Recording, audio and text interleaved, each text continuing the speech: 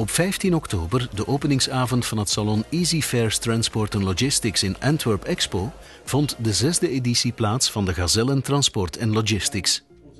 Tijdens dit high-level networking event, georganiseerd door Transportmedia in samenwerking met Trendstop en Easy Fairs, kwamen Anne Louagie, Seva Logistics en Jost Group als snelste groeiers in hun categorie uit de bus. In de categorie grote bedrijven werd de volledige top 3 bevolkt door logistieke zwaargewichten. De derde plaats ging naar het Aarschotse Hospital Logistics en Dagster Belgium strandde voor het tweede jaar op rij op de op één na hoogste treden. Het was daarentegen Jost Group die met de hoofdprijs naar huis ging. Onder het goedkeurend oog van het voltallige publiek en hoofdsponsors Stil, Stow International en Zetes.